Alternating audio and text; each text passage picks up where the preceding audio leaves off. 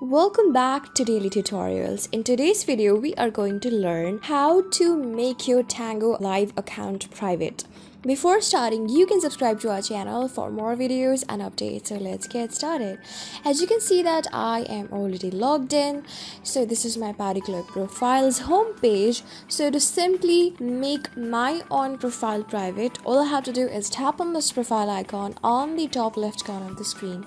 This will take you to your own profile and then scroll down and to the very end you have an option of settings. Tap on it. Now you have an option of privacy setting just below app setting. Tap on it.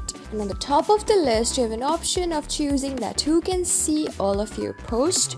Tap on it. And then, if you want to really make it private and only show your posts to your friends whom you follow and who they follow back, all you have to do is tap on this Only My Friends option. You can see that your profile has been changed from public to private, so your posts can only be seen by your friends. So this is how you do it. This is how you make your Tango account private.